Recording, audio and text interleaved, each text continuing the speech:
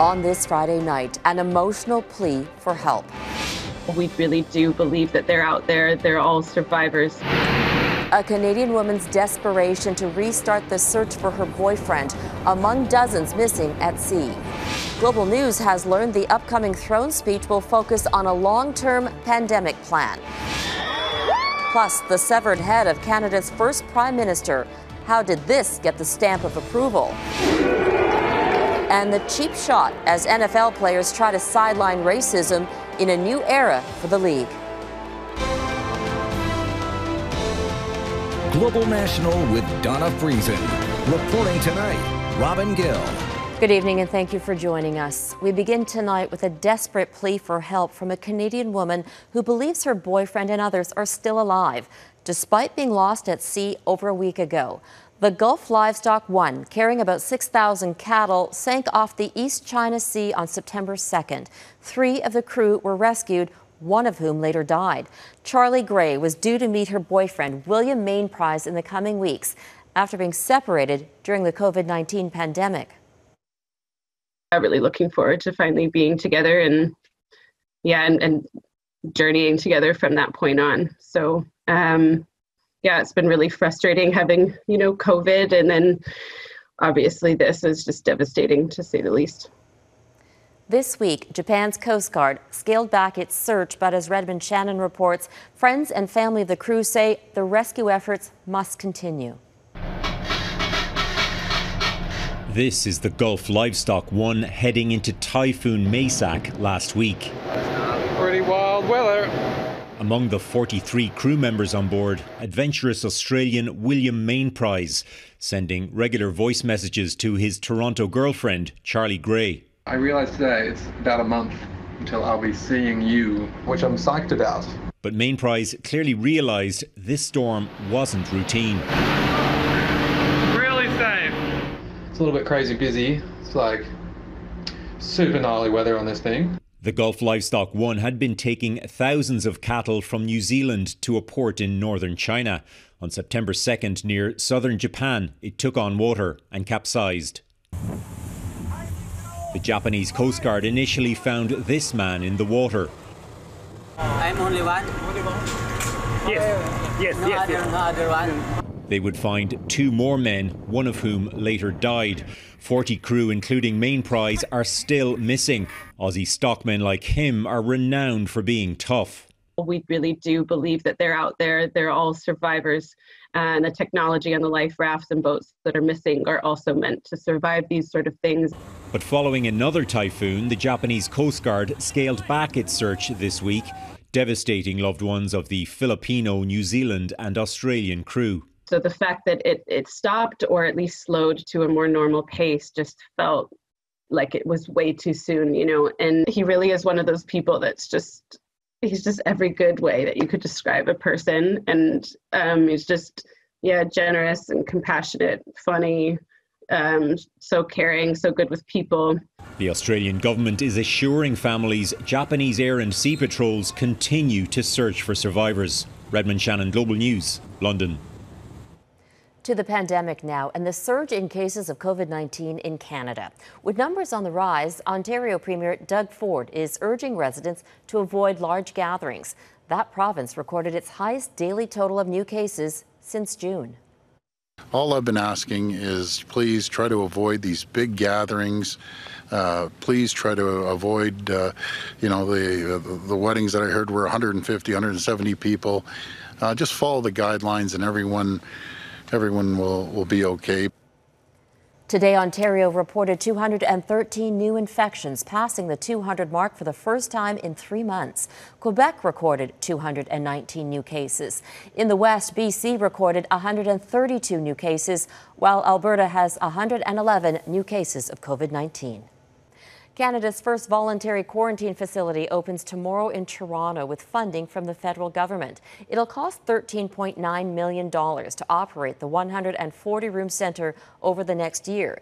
It's aimed at those who can't self isolate at home. Users of the hotel based facility will stay in their rooms for 14 days and get meals and regular check ins.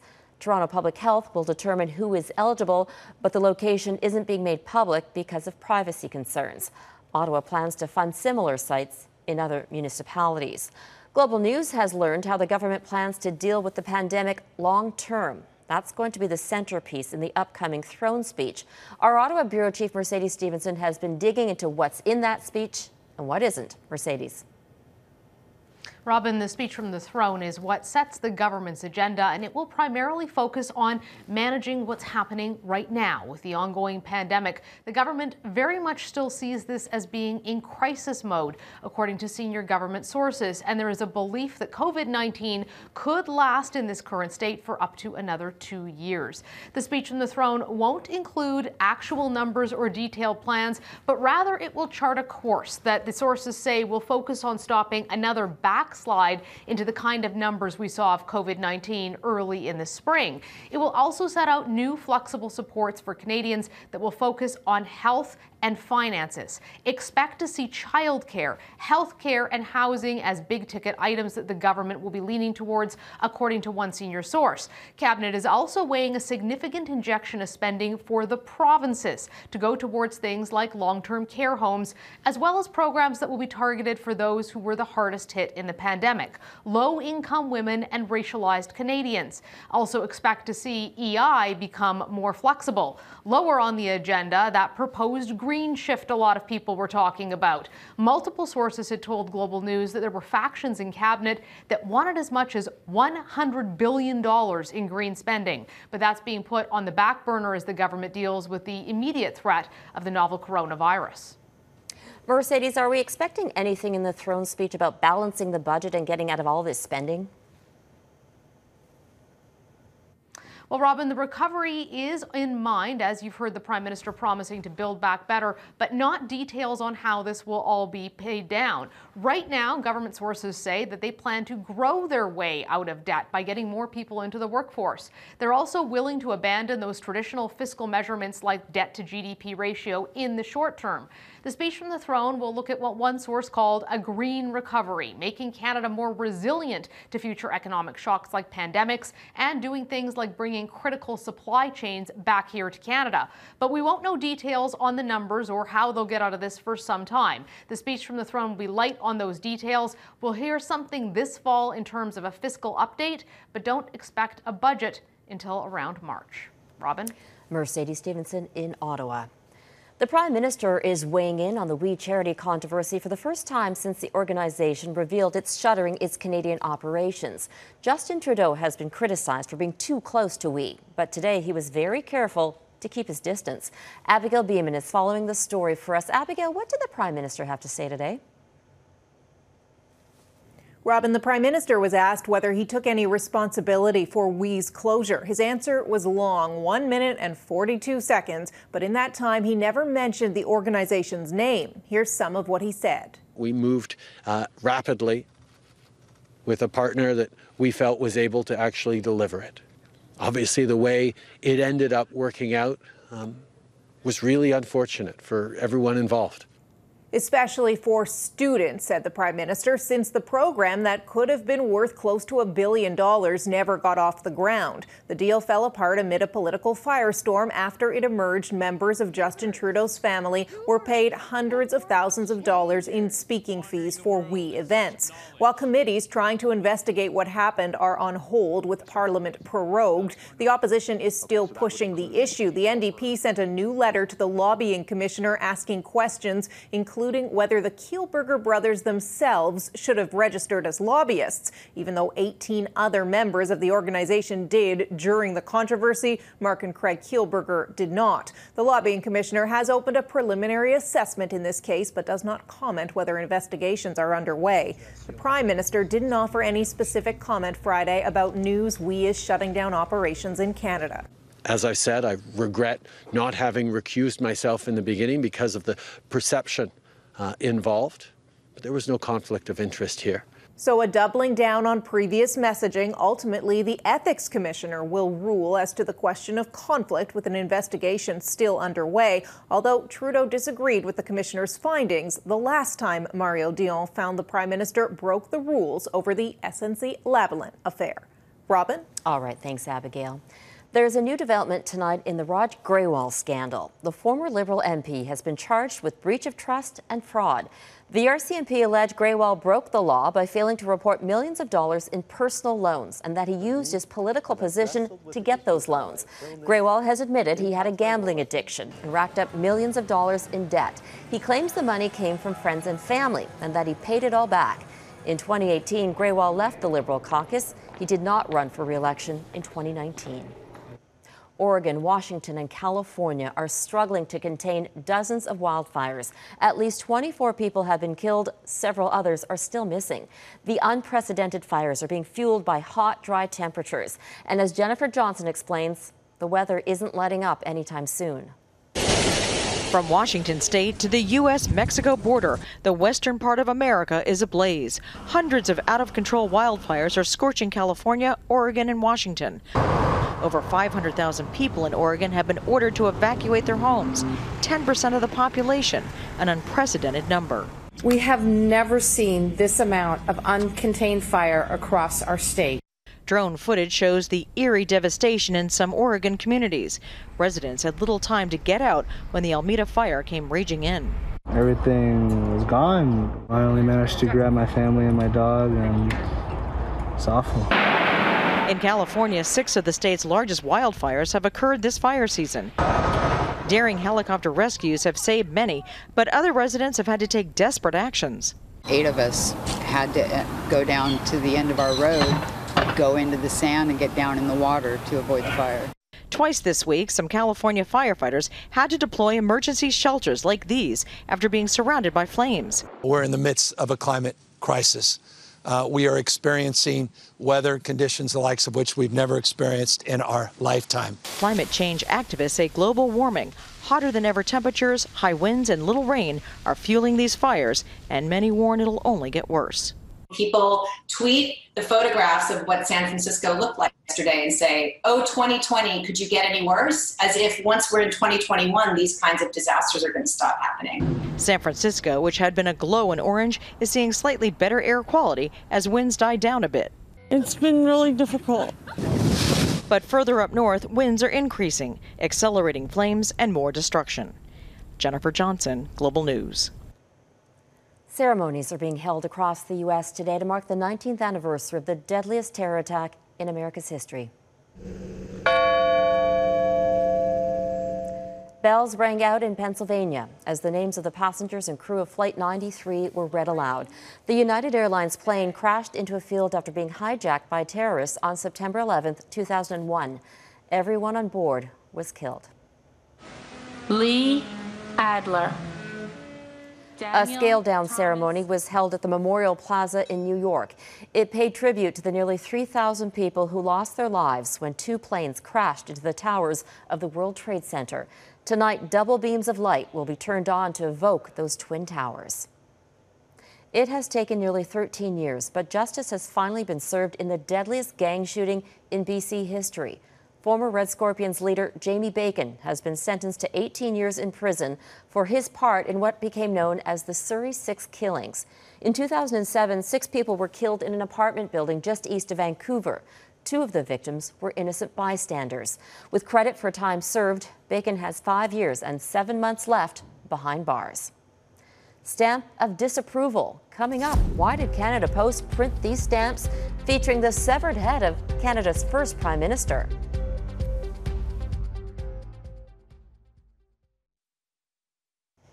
Canada Post is apologizing for printing a stamp that features the severed head of a John A. Macdonald statue that was pulled down by protesters in Montreal. The stamp was printed through a program intended to help people celebrate birthdays or anniversaries. But a federal employee used the program as a means of protest and solidarity with those who pulled down the statue. Our chief political correspondent David Akin also happens to collect stamps, and it's not the first time Canada Post has been pranked. David? Well, that's right, Robin. You know, most of us use stamps actually designed by Canada Post, like this legitimate Sir John A. Macdonald stamp. This is from 2015, marked the bicentennial of his birth. 1.5 million copies were printed up. But if you had a favorite photo and you wanted to put that on a sheet of 50 stamps, You could. It would only cost you about 120 bucks. But people have used that vanity program for political and social protest. Back in 2006, Frank Magazine did that, printed up a few stamps, one with a Disney character, another with someone wearing a Nazi uniform. And back in the late 70s, opponents of Pierre Elliott Trudeau distributed what are called overprint stamps. You can see the words fuddle duddle and RIPPET that were overprinted on actual Canada Post stamps. Now, none of these are very valuable to collectors. You might find copies on eBay for a few bucks these days, but Canada Post takes this very seriously and they are now reviewing their processes to make sure that no stamp with an inappropriate image ends up in your mailbox. Robin? David Akin in Ottawa. Thanks, David. Still ahead, the audition for answers to solve live theater's pandemic problems.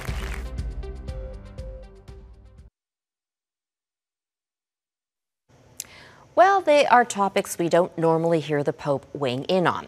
In a new book of interviews, the pontiff refers to food and sex as gifts from God that are simply divine. Pope Francis says the pleasure of eating is there to keep you healthy, and sexual pleasure is there to make love more beautiful and guarantee the perpetuation of the species. He adds overzealous views on so called carnal sins that deny pleasure have caused enormous harm. COVID 19 has forced many companies to change the way they do business, but there are some industries that are in a prolonged intermission. Live theater needs a packed house to be profitable, but as Mike Drolet explains, the seats are empty. This is the heart of Canada's vibrant theatre scene. For six months, its old heartbeat has been missing. Live theater, like sporting events and concerts, is all about the audience. If officials have begun planning for a reopening, theater insiders aren't privy to them. The only people that can answer that question are the public health officials. That unknown is causing unease. In the UK, theatre legend Sir Andrew Lloyd Webber says the industry is on the precipice. It is, it's in my view, um, I, I think we are now at the point of no return, really. Lloyd Webber has asked for a target date to reopen, but that hope is partly built on the dream they'll be able to fill every seat and not the 30% capacity Ralph Fiennes' one man show in London is limited to. I mean, these, these large shows can cost up to a million dollars a week to put on. So you can't bring in that kind of income at only 30% of capacity. As it is, most shows are budgeted to break even at 80% capacity. So, what can be done? Can theater embrace the digital world? And does that even work with live performances? Everything right now is on hold, including the burgeoning career of actor Hannah Smart, who wrapped up touring as a cast member of We Will Rock You in February. So I, for six months, lived out of a tour bus and toured everywhere from New York to LA, Texas. We did Toronto, Calgary. Like it was, it was a dream come true. It was crazy. The Calgary native had high hopes for the rest of the year. Now she's looking for a retail job until she can start auditioning again. In January, February is kind of the the main audition season in Toronto, especially. And so it's going to be interesting to see what it looks like come 2021 to see if they can even do auditions in person. So many what ifs need to be resolved before the curtain can rise again. Mike Drolet, Global News, Toronto. Up next, the pandemic play. The NFL struggles to tackle social injustice.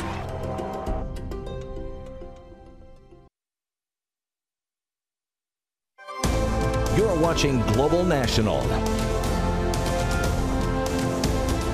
The NFL kicked off its season last night, but the backdrop to the game was much more than football. For years, the league has wrestled with racial injustice and the freedom its players have to express themselves. Now, confronting both America's racial divide and COVID 19, the NFL is back in the spotlight. Eric Sorensen reports. They stood together, opponents demonstrating common cause against racial injustice, led by the new face of the NFL, Super Bowl MVP Patrick Mahomes. We wanted to show that we, we're unified as a league, and we're not going to let playing football distract us from what we're doing and making change in this world. But the return of North America's richest sports enterprise showed the NFL still appears to be the most conflicted league in pro sports. When the national anthem played, the Kansas City Chiefs stood, but one player took a knee. The Houston Texans only came out after the anthem. And when both teams gathered for that moment of silence in midfield, there were some boos from the crowd. The players say their message of equality was for a bigger audience. We wanted to use this big platform where we know millions of people are going to be watching. As for the crowd, Kansas City is among the few teams allowing fans to attend, about a quarter of capacity. Spacing for tailgate parties, distancing in the stands, and the masks, all signs one more sport is taking on COVID 19. It's a unique year, and um, we're all aware of it.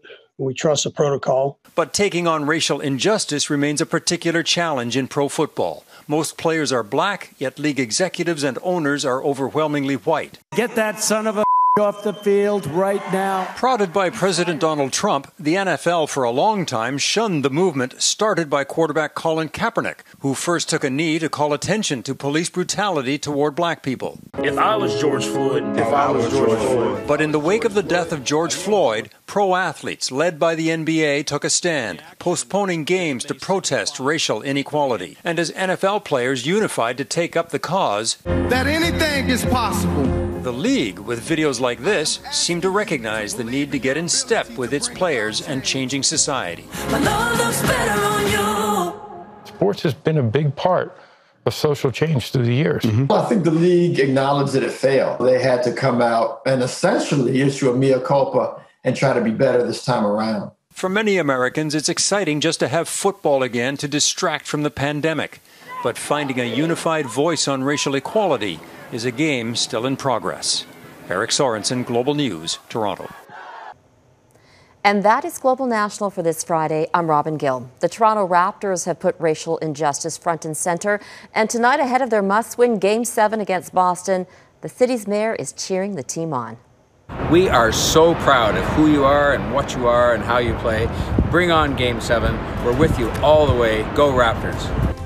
That's the same suit he wore when the Raptors won last year. Now with a matching mask. Let's hope history repeats. Thank you for watching. Have a great night, and I'll see you back here this weekend.